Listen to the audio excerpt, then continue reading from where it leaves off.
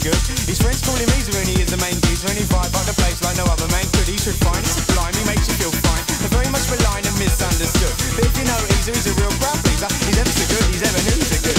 You see that he's mischievous, mysterious and devious. When he circulates amongst the people in the place, what you know he's fun and something of a genius, he gives you grin that goes around face to face to face. Backwards and then forwards, forwards and then backwards. Easer is a geezer, he loves to muscle in. That's about the time the crowd will shout the name of Easer.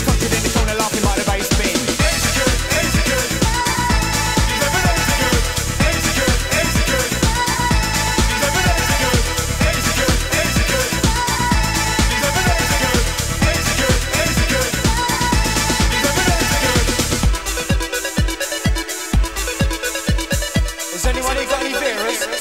Lovely.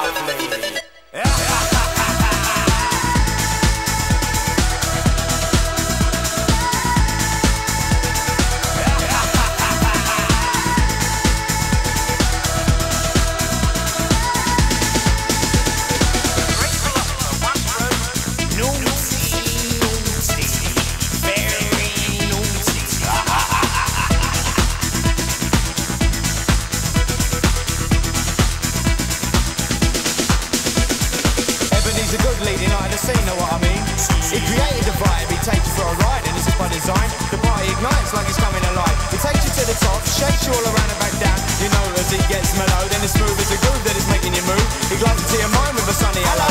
A gentleman of pleasure, he's there for your pleasure, but go easy on old easy, he's a love you can lose. Extraordinary fella like Mr. Punchinella. He's the kind of geezer who must never be abused. When you're in town and Ebeneezer is around, you can sense the presence in the sound of the crowd. He gets them all out. The pipe starts rocking, the people get excited.